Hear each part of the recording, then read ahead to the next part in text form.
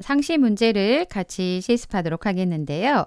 문제 1번에 기본 작업 다시 2번 시트에 셀 서식 지정하는 문제부터 같이 실습하도록 하겠습니다.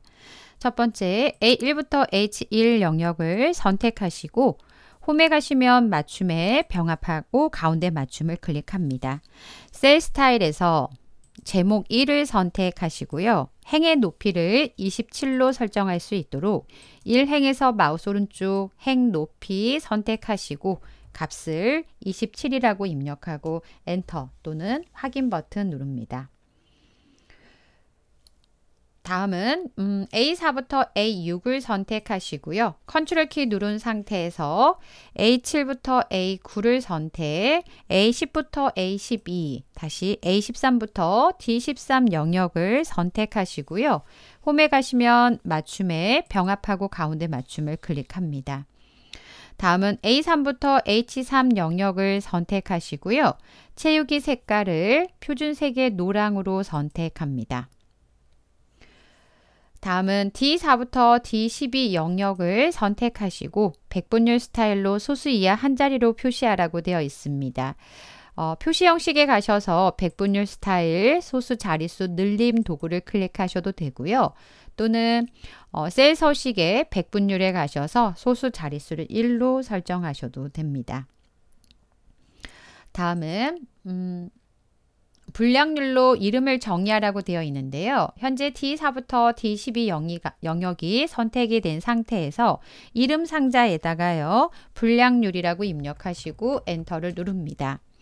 가운데 맞춤을 지정하시오 라고 되어 있으니까 홈에 가셔서 맞춤에 가운데 맞춤을 클릭합니다.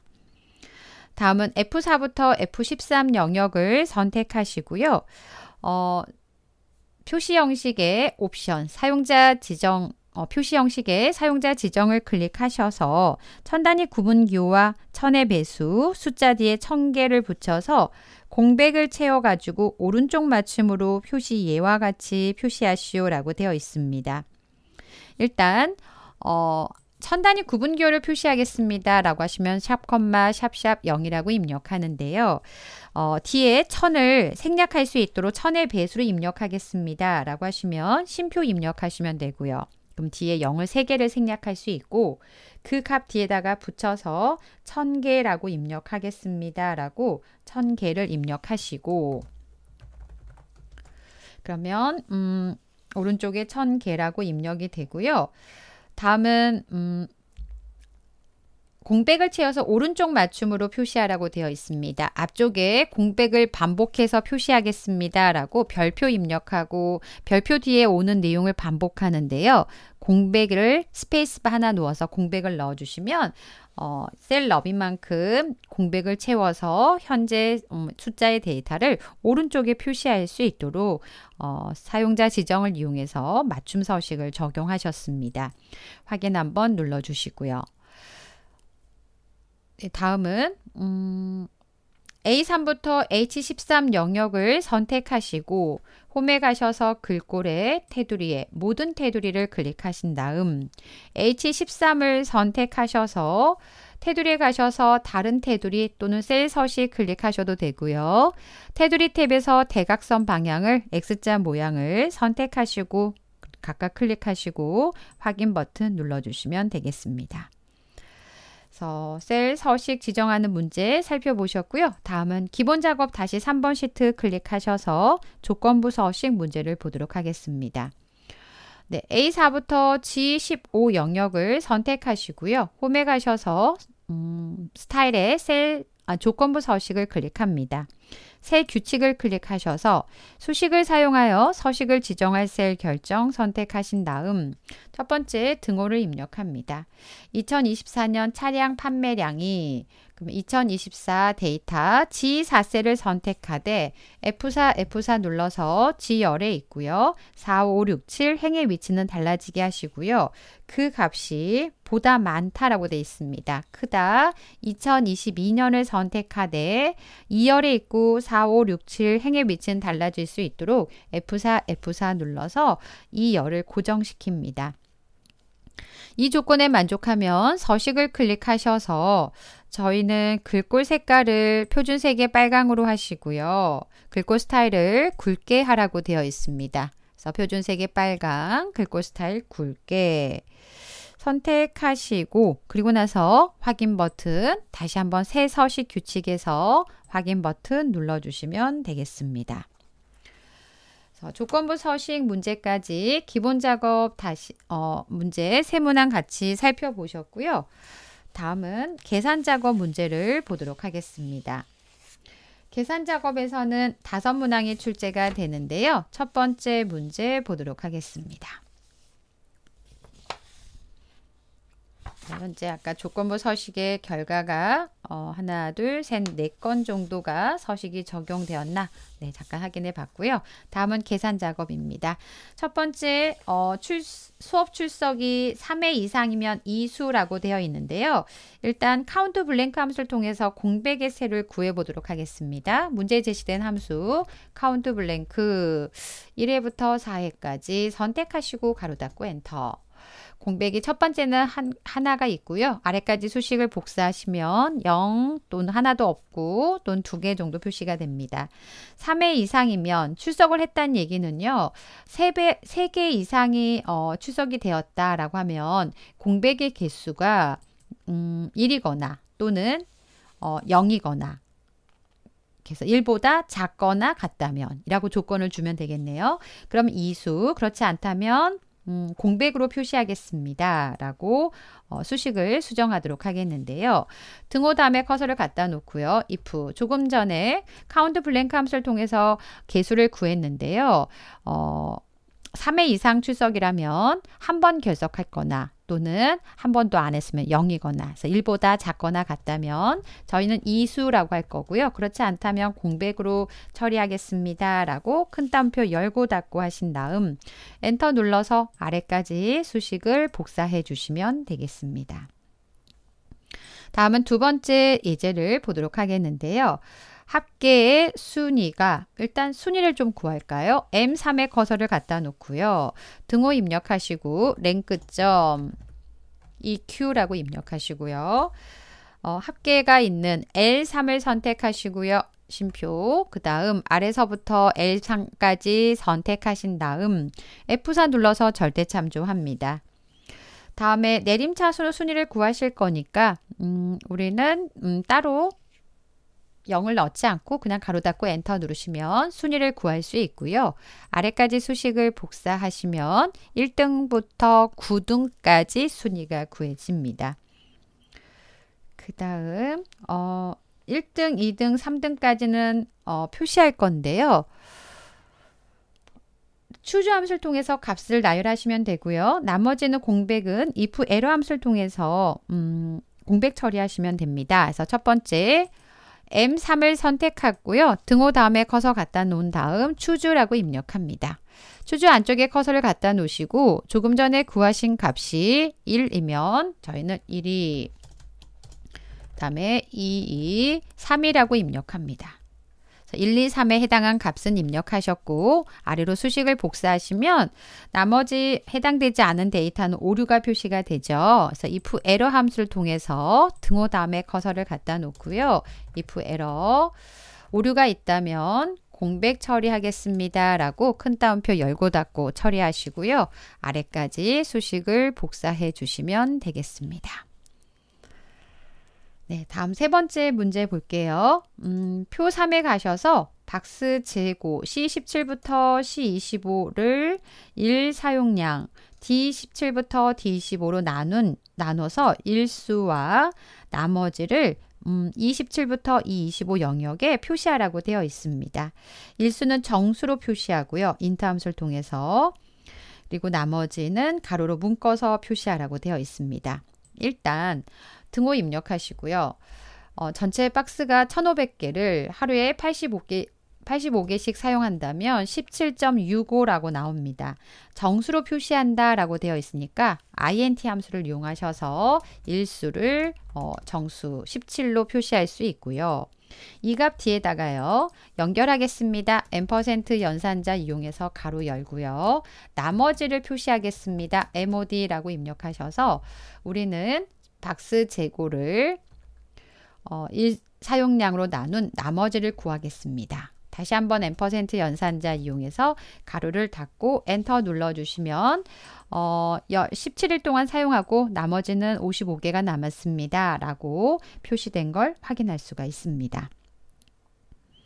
세 번째 문제를 같이 살펴보셨고요. 다음은 네 번째 지역을 보도록 하겠습니다. 표 4에서 지점 코드 G17부터 G26가 코드표, 오른쪽에 작성된 코드표를 이용해서 지역의 K17부터 K26 영역에 표시하시오라고 되어 있습니다. 지점 코드의 세 번째 문자를 가지고 사용할 거고요. 오른쪽 표에 첫 번째 열에 가서 찾고 두 번째 열의 값을 가져오고자 합니다. 그래서 MID 함수와 vlookup 함수를 통해서 값을 찾아올 수 있는데요. 커서를 K17셀에 갖다 놓으시고 일단 MID 함수 이용하겠습니다. 지점 코드에 가서 세 번째 한 글자를 가져오겠습니다. 지점 코드의 세 번째 한 글자를 찾아왔고요. 다시 한번 등호 다음에 vlookup이라고 입력하신 다음 심표 코드표에 가서 F4 눌러서 절대 참조. 첫 번째 열에서 코드를 찾고요. 두 번째 열에서 지역을 가져오고요. 정확하게 일치하는 값을 가져오겠습니다. 아래까지 수식을 복사해 주시면 해당된 지역을 찾아다가 표시할 수가 있습니다. 다음은 어, 표 5에서요. 어, 대리점명이 강남 지점이라고 되어 있습니다. 대리점명과 강남 지점을 컨트롤 C, 컨트롤 V 하셔서 조건을 작성해 주시고요. 어, 스마트폰에, 스마트폰의 평균을 내림해서 소수 이하 한 자리로 계산해서 표시하라고 되어 있습니다. 일단 조건에 만족한 데이터의 평균을 구하시고요. 그리고 나서 어, 내림해서 표시하도록 하겠습니다. 문제 제시된 함수는 음, DAVERAGE 함수를 이용하셔서 조건에 만족한 데이터의 평균을 구하시면 좋을 것 같습니다. 등호 입력하시고 DAVERAGE 어, 함수 삽입에 가셔서 데이터베이스 함수는 제목을 포함한 데이터들 중에서 필드는 스마트폰에 조건은 대리점명이 강남지점이라고 선택하시고 확인 버튼 누릅니다. 그 다음 등호 다음에 커서를 갖다 놓고요. ROUNDDOWN을 입력하시고요. 어, 맨 끝에 가서 쉼표 소수의 한 자리까지 표시하겠습니다. 라고 1이라고 입력하시고 괄호 닫고 엔터 눌러주시면 되겠습니다. 다섯 문항의 계산 작업 문제를 같이 작성해 보셨고요. 음, 네, 그래서 맞게 작성했나 확인해 보시면 될 것 같고요. 다음은 분석 작업 다시 1번 시트에 어, 정렬 문제를 보도록 하겠습니다. 데이터의 정렬을 두개 어, 기준으로 데이터를 정렬하고자 하는데요. 첫 번째, 데이터 안쪽에 커서를 갖다 놓고 데이터에 가셔서 정렬을 클릭합니다. 첫 번째 정렬 기준은 규모를 선택하시고요. 다음 음, 셀 값을 사용자 지정 목록을 이용해서 문제 임, 어, 제시된 순서대로 대형 입력하시고요. 중형 입력하시고 소형이라고 입력합니다. 그리고 추가하시면 왼쪽에 어, 대형, 중형, 소형이 추가된 걸 확인할 수 있고요. 확인 버튼 누릅니다. 다시 기준을 추가하시되 세대수를 선택하시고요. 그 다음 셀 색깔을 선택하신 다음 우리는 문제 제시된 색깔 RGB 255, 192, 0을 선택합니다. 위에 표시하겠습니다. 라고 선택하신 다음 확인 버튼 누릅니다. 데이터 정렬 문제 같이 살펴보셨고요. 다음은 두 번째 분석 작업 다시 2번에 목표값 찾기 문제를 보겠습니다. 어, 전자제품 판매 현황표에서 순이익 합계가 I14 셀의 값이 음, 1억이 되려면 이익률이 몇 퍼센트면 가능할까? 데이터에 가셔서 가상 분석의 목표값 찾기 현재 값을 1, 0을 하나, 둘, 하나, 둘, 셋, 하나, 둘, 셋, 총 6개의 0을 입력하시고요. 값을 바꿀 세 1억이 되기 위해서 이익률이 입력된 H16셀이 얼마면 가능할까라고 값을 찾고자 합니다. 확인 버튼 눌러주시면 값을 찾는 작업이 진행이 됐고요. 다시 한번 확인 버튼 누릅니다. 샵샵샵 표시가 되었다면 열 너비 조절해 주시고요. 다음은 기타 작업의 첫 번째 매크로 문제를 보도록 하겠는데요. 첫 번째 매크로는 양식 컨트롤에 단추에 연결하라고 되어 있습니다. 개발 도구에 삽입에 가셔서 양식 컨트롤의 단추를 선택하시고 위치가 E2부터 F3 영역에다가 Alt키 누른 상태에서 드래그 합니다. 그 다음 매크로 이름을 어, 테두리라고 입력하시고 기록을 클릭하시고 확인 버튼 누릅니다. A2부터 C17 영역을 선택하신 다음 홈에 가셔서 태 글꼴에 테두리에 모든 테두리를 적용합니다. 그리고 나서 개발 도구의 기록 중지 버튼 누르시고요. 다음은 음, 텍스트를 수정하기 위해서 단추에서 마우스 오른쪽 텍스트 편집을 누르셔서 테두리라고 입력하시면 되겠습니다. 다시 한번 이제 도형에 연결할 건데요. 삽입의 도형에 사각형에 갔을 때 어, 둥근 모서리를 선택하시고요. E5부터 Alt키 누른 상태에서 F6 영역에 드래그 합니다. 텍스트를 서식이라고 입력하시고요. 도형에서 마우스 오른쪽 그 다음 매크로 지정 가셔서 서식이라고 입력하시고 기록을 클릭합니다. 확인 버튼 누르신 다음 A2부터 C2 영역을 선택하시고 홈에 가셔서 글꼴에 채우기에 표준색의 녹색을 선택하고 글꼴 스타일을 굵게 선택합니다. 그리고 나서 개발 도구의 기록 중지 버튼 눌러서 매크로 기록을 종료합니다. 네, 그래서 테두리와 서식에 관련된 매크로 두 문항을 같이 실습해 보셨고요. 다음은 차트 작업 문제를 보도록 하겠습니다. 첫 번째 행과 열을 전환하라고 되어 있습니다. 차트를 선택하시고요. 차트 디자인에 가시면 데이터 탭에 행렬 전환이라고 있습니다. 차트 요소에 가셔서 차트 제목을 클릭하시고요. 수식 입력 줄에 등호를 입력하셔서 B2셀과 연결할 수 있도록 등호 입력하고 B2셀 클릭한 다음에 엔터를 누릅니다. 왼쪽에 세로 갑축을 선택하시고요. 오른쪽 축 서식 메뉴를 클릭합니다.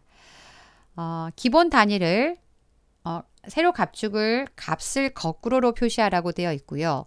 기본 단위를 2000이라고 되어 있습니다.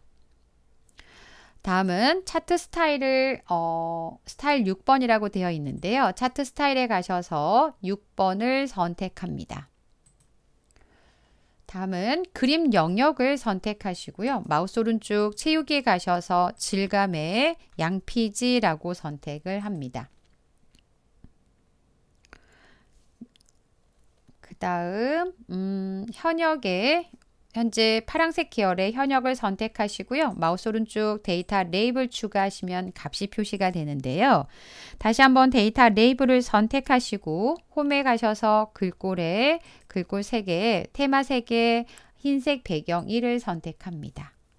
차트 영역은 음, 테두리에 가셔서 너비에 가셔서 값을 2라고 입력하시고 둥근 모서리 체크하셔서 테두리에 대한 서식을 어, 적용해 주시면 되겠습니다. 작성하신 차트와 문제 제시된 차트를 비교해 보시고 맞게 작성이 되어 있는지 확인해 보시면 되겠습니다. 문제 1번 기본 작업부터 문제 4번 기타 작업 문제까지 같이 살펴보셨습니다.